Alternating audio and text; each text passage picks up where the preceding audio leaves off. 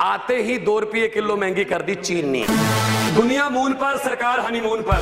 पूछ रहे पूरे देश के चाय वाले हैं महँगाई की वजह से खाली चाय के प्याले हैं। लोगों को तो बस दो वक्त की रोटी के लाले हैं। सरकार जी बता दीजिए अच्छे दिन कब आने वाले हैं? बेटे क्या घंटे का इंसाफ देश कैसे होगा साफ़? न गंदगी करूँगा न गंदगी करने दूँगा। और आप आप बताएँगे कि देश आपको वोट क्यों दे? किसी पीटी राजनीति से बाहर क्या कोई जगह नहीं? क्या देश ऐसे ही तू तू मैं मैं ही चलेगा? भारत की रक्षा मंत्री निर्मला सीतारमन सवाल है पाकिस्तान को ठीक करने का।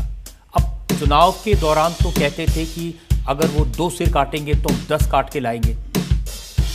लेकिन अब तो दस तो नहीं कट रहे हैं। नहीं मैं ये बोल सकती हूँ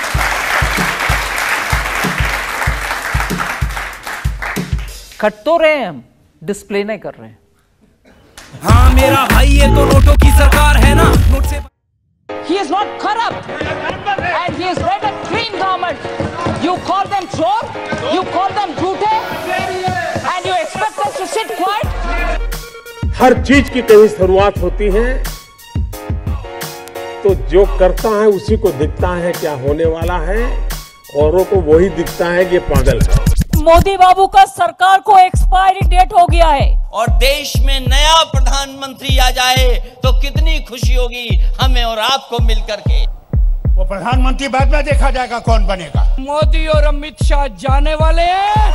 देश के अच्छे दिन आने वाले हैं। अच्छे दिन आने वाले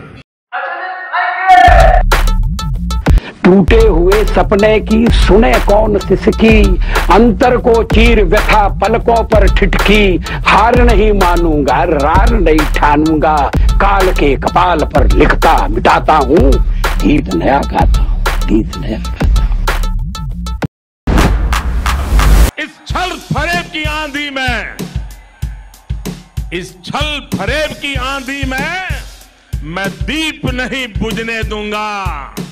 सौगंध मुझे इस मिट्टी की। मैं देश नहीं मिटने दूँगा। मैं देश नहीं मिटने दूँगा। उनको लग रहा था कि मोदी के बाल नोच लेंगे तो मोदी डर जगा रहे। मोदी को ज़िंदा जला दोगे तो भी मोदी डरता नहीं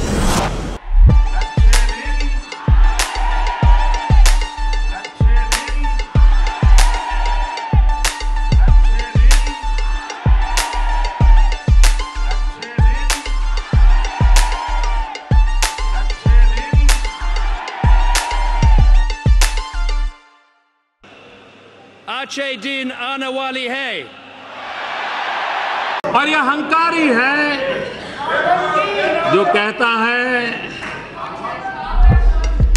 कि हम खड़े होंगे तो प्रधानमंत्री पंद्रह मिनट तक खड़े नहीं हो पाएँगे।